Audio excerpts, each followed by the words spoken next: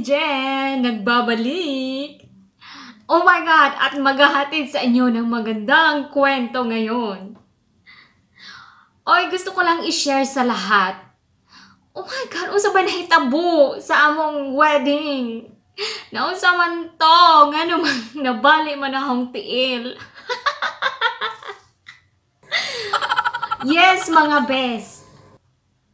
Nung time na yun na kinasal ako, 2015, ay nako, nakakaloka talaga yung kasal ko. Alam mo ba? Alam niyo ba anong nangyari sa kasal namin? Dali-dali pa talaga yun na kinasal kami, tapos kasi matatapos ako eh, six months before matapos yung kontrata ko dito as au pair, eh, doon kami nag-decide na magpakasal. So, kibali ang nangyari. Hala, sabi ng asawa ko na, ano, magpakasal ba tayo or hindi? Tapos tinext lang ako, tinext lang ako mga best, nag-propose sa text lang. Nakakaloka. Alam mo yung propose propose namin ay sa text lang, hindi katulad ng iba na oh, may pa, may pa flower pa sila, my god. Tapos uh, ibibigay. Ako wala naman akong ganun. Ang nangyari sa akin ay puro sa text lang talaga. Tapos sabi ko, kinonfirm ko pa talaga, What? Is that true? We want to get married? Oh my God! Tapos nagalit pa, nag-reply. Sabi pa niya na, Ayaw mo? Ayaw mo magpakasal? Eh gusto. Sabi ko naman ganoon. Siyempre, sino bang aayaw? Siyempre, nag, nag, nag-aalok na yan mga best na magpapakasal sa'yo. Aarte ka pa ba? Nga nga. Mm. Kailangan mo grab agad. Tapos nung time na yun, yun na, yun na. Na-approve na yung lahat ng mga papel namin. Tapos, 1st of June 2015, alas 11 ng umaga, 11 o'clock ng morning na yun, ay time namin na ikakasal. Tapos yung time na yun, ano? Grabe, grabe talaga pagmamadali ko mga bes. Ako lang lahat, nagme-makeup ng aking hair. Ako lang dito, makeup, makeup, dito sa bahay. Kasi nga walang tutulong dahil Monday yun na time na yun. Tapos wala akong mga kaibigan, wala naman akong mga mga malalapit na kaibigan rito. So, ang nangyari, ako lang talaga lahat, mga bes. Ayun na. Tapos pumunta na kami. Pumunta na talaga kami dun sa lugar na kinasal kami. At alam niyo ba, hindi kami nagpakasal sa simbahan. Bakit hindi kami nagpakasal sa simbahan? Dahil si Bana, gusto lang niya ng solemn na wedding. Yung kami lang dalawa. Pak! Bakit kayo lang dalawa? Walang inimbita. Oy, mamaya ipapaliwanag ko sa inyo. Exciting ito mga best. So, kung hindi pa kayo nakapag-subscribe dyan, ay mag-subscribe na at i-click lamang ang bell notification below para tayo ay updated sa mga pangyayari dito sa Denmark at ang mga buhay-buhay natin dito. Tapos yun na yun. Oh my God! Na yon na kinumagahan talaga. Alas 5 pa lang mga bes. Umano na ako. Gumayak na ang, ang lula mo. Ah, umano na. Nag, nag-ayos-ayos na. Tapos siya din, excited din masyado. Hindi niya alam na, syempre, first day, tapos ako pa ang unang pinakasalan niya. Ah! Perfect! Ako talaga ang unang pinakasalan. Oh, bongga, di ba? Panalo si bakla. Ako ang unang pinakasalan. Tapos yun na oh my God, natawa na naman ako. Wala pang katatawa na, natawa na naman ako. Tapos nung ano na, nung time na, dali-dali, dali-dali ako nang makeup pa, ginaganon ko pa yung buko, ganyan-ganyan, tapos, earrings, tapos makeup, ganyan-ganyan, mm. tapos ako, dali na, dali na, dali na, magmamadali na tayo, punta na tayo sa munisipyo. Doon lang kami mga best kinasal sa munisipyo. Hindi kami kinasal sa simbahan. So, yung mga effect ko na, ay, I want to get married in the church, blah, blah, blah. Hindi, hindi siya natupad, mga best.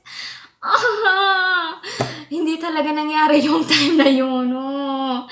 Kasi nga, yung partner ko naman, ayaw naman niya sa church. Gusto lang niya sa munisipyo. O, di ba? Boring. So, eh, okay lang. Sabi niya na, um, kung ayaw mo na magpakasal tayo sa munisipyo, so walang kasal mangyayari. Aarte ka pa ba? O inalok ka na nga, nakasal, aarte ka pa? O nga nga. So, Siyempre sabi ko, it's okay. We will not get married in the church. It's okay in the municipal hall. Who cares? Tapos ang ano na, kami lang dalawa, mga dali-dali kami, dali-dali kami noon.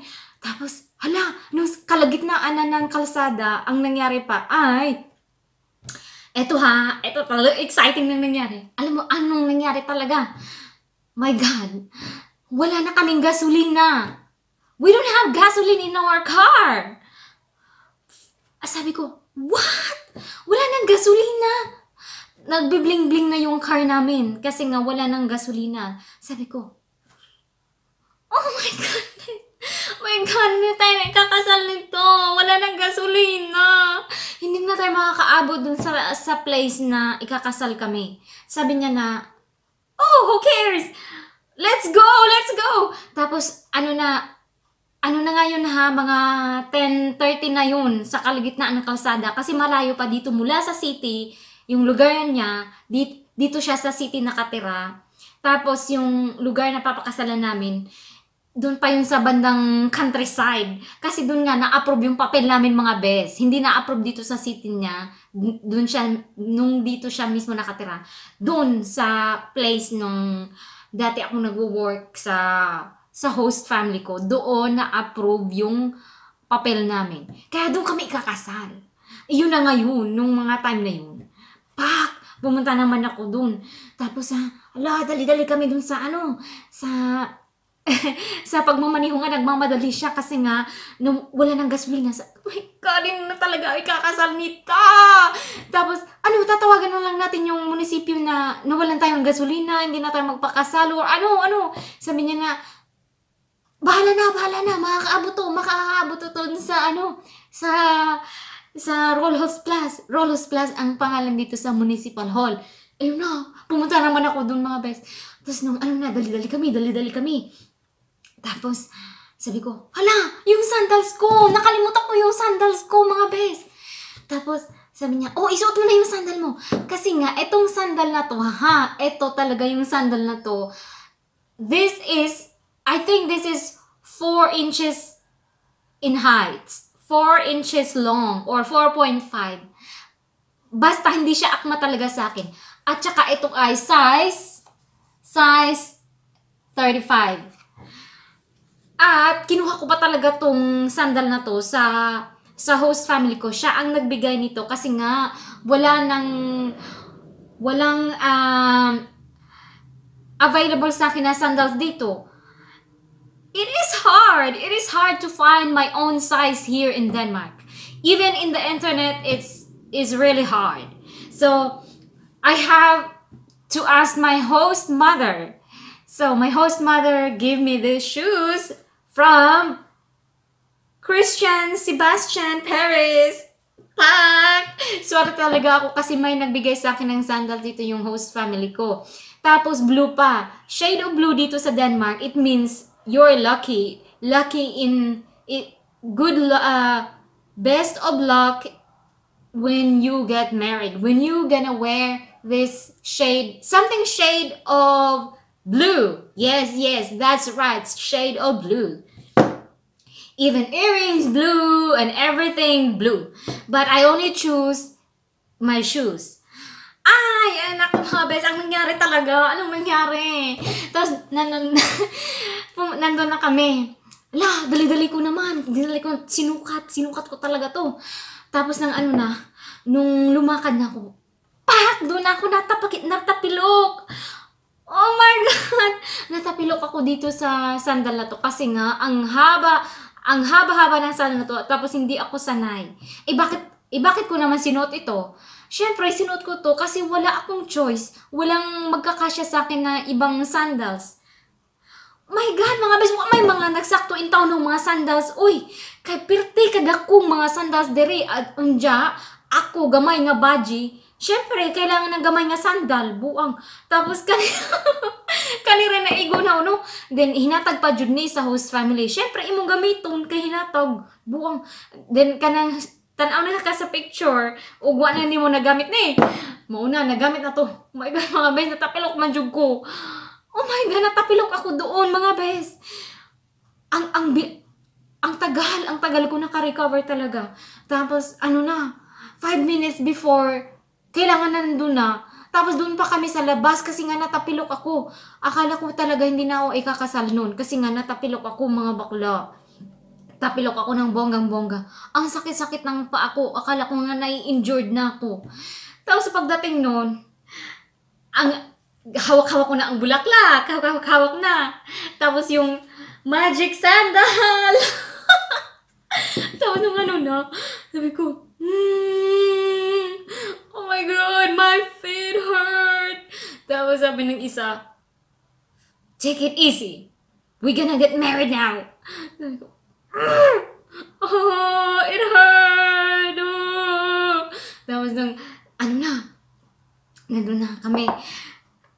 Tapos ang, ang, ang itsura ko pa, nakaganon ako, nakaganon ako mga bes, yung itsura ko. Tapos nang, sab, tapos dumating na yung judge. Siyempre, kailangan, kailangan mong, mm, ngiti-ngiti, ganyan-ganyan, mm, na parang walang nangyari, ganyan, pero sum sumakit na pala ang paa. Tapos ano na, mabuti nga, oh my God, 3 minutes lang yung, yung period na may sinasabi siya, hey, do you take blah blah blah to be your wife? For richer and poor, blah blah blah. Tapos sabi ko, yes, I do. Tapos pag, dat, pag pagkasabi nun, okay, you may kiss the bride. Sabi ko, what? On, only three minutes? It's done? What about our effort coming here? And then my makeup, uh, my sandals, and everything, my food, is it hurt. Tapos sabi ng husband ko, eh, ganun ang ano dito eh. Dab- three minutes lang, tapos na. Oh my God, mga best! Ayun nga yung nangyari sa kasal namin na nakakalokang kasal na may halong kaba, funny, kasi nga natapilok ako, tapos uh, nagmamadali kami, nawala ng gasolina. oh my God! Nakakatawa talaga. Tapos, wala kaming, ano, wala kaming bisita. Bakit wala kaming bisita? Kasi ayaw niya na mag-imbita ng bisita kasi nga marami daw sila, marami silang kamag-anak, ayaw niya mag-imbita. So, yun yun. Napaka-solemn ng wedding namin na may funny and nervousness we, uh, wedding. Pero, kinasal naman kami sa saktong time. Hindi naman kami na late. Muntikan pang na late kasi nga 5 minutes before dapat andun na. Tapos dumating kami, sakto talagang 5 minutes. Tapos natapilok pa talaga ako mga best. Ayun ang nangyari sa wedding ko. Tapos ipapakita ko ngayon ano yung uh, yung bridal shower ko na naman. na funny ba funny ba funny bridal shower ni Gentape. I know you told your friend you're not okay. And tell me what's wrong and why you never said you felt that way. And guess you're trying to stay strong and fake a smile until I look away. But I've known you too long, it hurts to watch your blue eyes fade to gray as you fade away.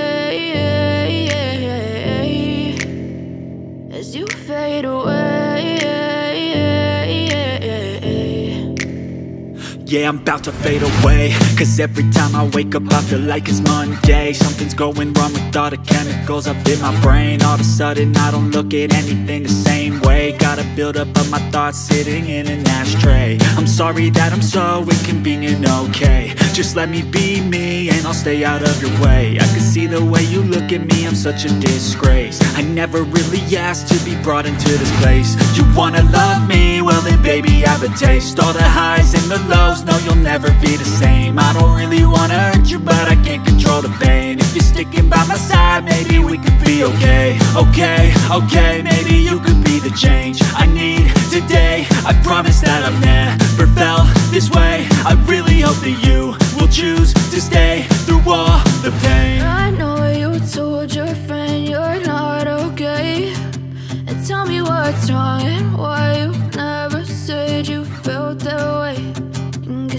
stay strong and fake a smile. Oh my God, pag-webes niya, sana ay nag-enjoy kayo ngayon sa aking video. At wag lang po natin kalimutan na mag-subscribe at i-share lamang po itong aking video sa mga friends nyo dyan na gustong marinig ang buhay-buhay dito sa Denmark. at ito ay nag-iiwan sa katagang. Be powerful! Be decide! Bye!